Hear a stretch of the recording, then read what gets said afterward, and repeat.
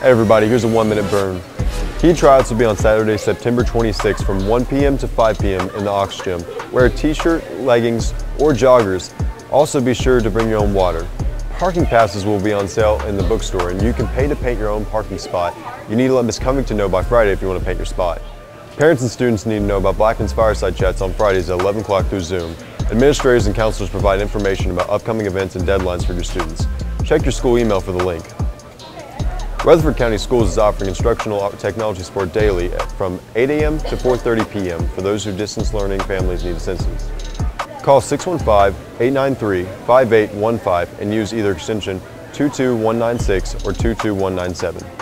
Blackman football hosts Warren County this Friday for senior night. Senior night activities will begin around 6.30. Game time is going to be at 7. You can buy tickets to the game in the bookstore tomorrow during lunch. Happy birthday to Giovanni Amphifong, Michael Pritchard, Dina Singchanthavong, Emma Vincent, and Candice Wolcott. This quick reminder, the Redstone Federal branch at Blackman is open. Go in and open an account today. If you're watching on Twitter, retweet.